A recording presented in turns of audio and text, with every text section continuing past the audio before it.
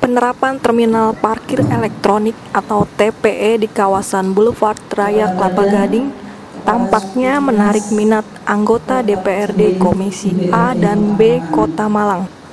Dalam kunjungan kerjanya ke pemerintah kota administrasi Jakarta Utara, diterima langsung oleh Wakil Wali Kota Jakarta Utara Wahyu Haryadi di ruang Fatahila kantor Wali Kota Jakarta Utara Senin 3 Agustus 2015. Kunjungan kerja kali ini membahas tentang perizinan, penerapan TPE, pelayanan publik, dan retribusi daerah.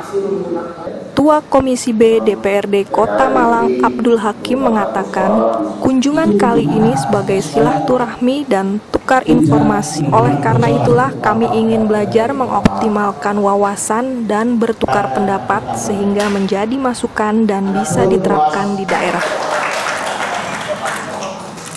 Tim Liputan Kominfo Mas Jakarta Utara melaporkan.